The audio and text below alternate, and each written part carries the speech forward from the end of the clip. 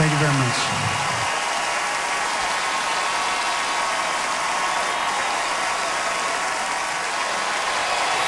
When we return, more of your favorite songs, stories behind the music, and a special finale you won't want to miss.